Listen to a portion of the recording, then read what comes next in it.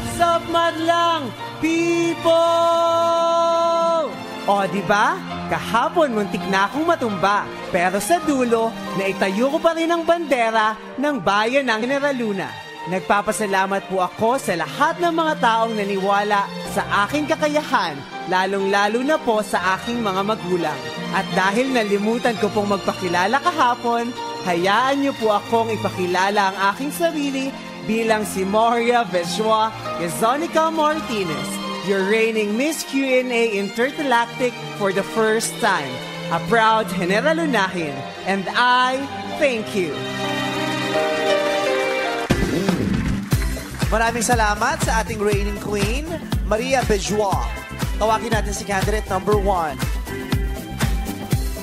Isa lang pong paalala, ang mga pananaw at opinion ng kandidata at ang kasulukuyang Miss Q&A ay hindi sumasalamin ang pananaw at opinion ng mga tagapagtanghal ng programa, ng pamunuan at ng istasyon. Yes, tumpak yan. Tama yan.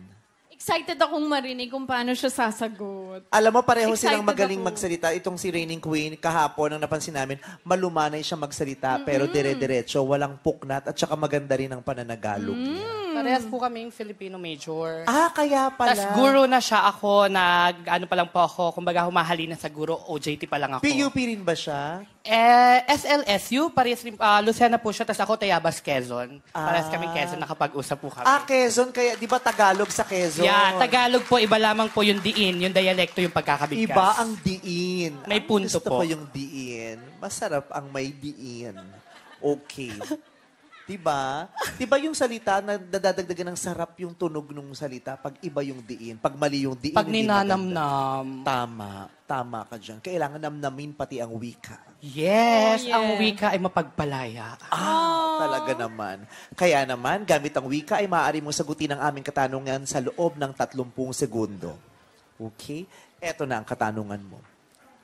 Ano ang pinakamagandang simbolo ng Pasko? I believe ang pinakamagandang simbolo ng Pasko ay ang Panginoon. Jesus is the only reason of the season. Nagkakaroon tayo ng Pasko dahil ipinagdiriwang natin ang pagkabuhay ng taong nagligtas sa atin na siyang sumisimbolo ng pagbibigayan, walang hanggan, walang hanggan na pagmamahalan at patuloy na pag-asa. Dahil ang Panginoon lamang ang ating tinitignan patay, patayaas at patuloy tayong tumitingin sa Kanya upang patuloy tayong umasa. Maraming salamat and I thank you. Maraming salamat sa iyo, Chloe Nicole. It's your turn, our reigning Miss Q&A, Maria Medjua, Quezonica Martinez. Bedjua, Maria Bedjua. Paano ba binibigkas ang pangalan? Bejua o Bejua? Bejwa. Ah, Bejua. Apa. Bejua. Bourgeois. Ano yan? Frances ba yan? Hindi po. Kasi meron akong friend na bading din. Tapos yung, ang real name ko kasi, ang real name ko po kasi, Oh, ano ba't ayaw, ayaw, mo- ayaw mo bang malaman nilang real eh, pwede naman ba? Ang real name ko po kasi ay BJ. So pina-arte niya, ginawa niyang Bejwa. Mm, okay. Tapos yun pong Quezon ay, since galing po ako sa Quezon Province, ginawa po namin Quezonica. Ang arte ng mga bakla, ano? Yung BJ Kung ginawang ano- Bejua. Tas ang Quezon, Oh, Quezonica. parang mother ginawang mudra. Oo. Ang father ginawang pudra. ang brother ginawang brudier.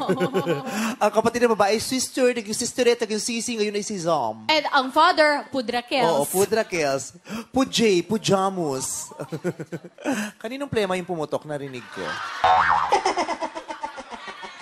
Ate, nasa taas ka, rinig narinig ko. Kala ko may sundalong nagkasa ng baril. Pero plema mo pala yung ikinasa mo, ate. Sabi ko, ilang bala din yun. Sabi, Kala ko'y sumalakay na si Cardo rito eh. Kinabahan ako. Gayun pa man, tayo magtatanungan na. Good luck sa'yo. Thank you. Katulad ng nauna, meron kang 30 segundo para sumagot. At ang tanong ay, para sa'yo, ano ang pinakamagandang simbolo ng Pasko? I believe ang pinakamagandang simbolo ng Pasko ay ang lantern na kung saan kilala ang buong Pilipinas sa kagandahan ng mga malat at naglalakihang lantern na ginagawa natin. Bukod dito, ipapakita pa natin mga Pilipino ang ating pagiging malikhain na kayang-kaya nating maging globally competitive sa pagpapaganda ng mga lantern na ginagawa natin. Bukod dito, nagbibigay ito ng liwanag sa ating buhay. Kakatulad ng pag... Liwanag na binibigay ni Cristo. And I thank you. Maraming salamat sa iyo, Maria Bejua. Pakinggan naman natin ang komento ng ating mga hurado.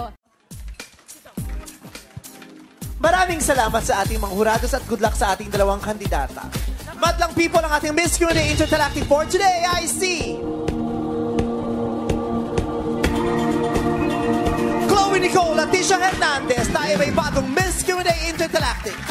Mag-uwi ka ng 20,000 pesos at babalik ka para depensahan ang iyong titulo. Sorry, Maria Bejua. Kezonica Martinez, hindi ka mananalo today. Mag-uwi ka pa rin ng 30,000 pesos. Hanggang sa muling Beshi Showdown dito sa Miss Q&A Intergalactic 2019.